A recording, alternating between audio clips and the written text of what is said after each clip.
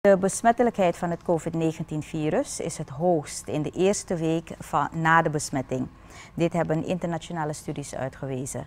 Dit zei minister Umar Ramadin van Volksgezondheid afgelopen zondag in zijn tweewekelijkse toespraak.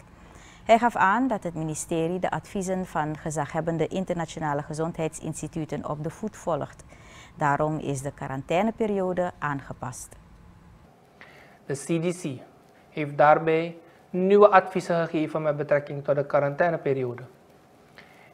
Ons outbreak management team heeft na goed overleg besloten om de quarantaineperiode te wijzigen van 10 dagen naar 7 dagen. Dit op basis van de recente wetenschappelijke inzichten. De bewindsman benadrukte weer dat personen in quarantaine of isolatie, maar ook personen die verplicht thuis blijven, zich strikt dienen te houden aan de maatregelen.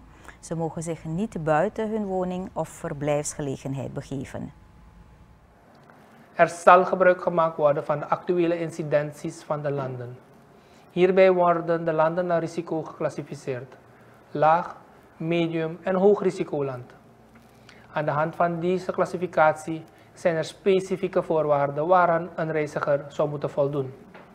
De risicoclassificatie van landen en de geldende voorwaarden en protocollen behorend bij de risiconiveaus zullen nader bekend worden gemaakt door de bevoegde Surinaamse autoriteiten. De klassificatie van de landen zal voortdurend, maar tenminste wekelijks worden bijgewerkt. Tot zover minister Umar Ramadin van Volksgezondheid. Alle goedgekeurde COVID-protocollen staan op de website van het BOG.